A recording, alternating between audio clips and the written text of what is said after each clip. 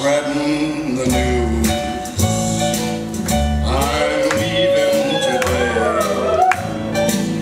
I want to be part of it. New York, New York.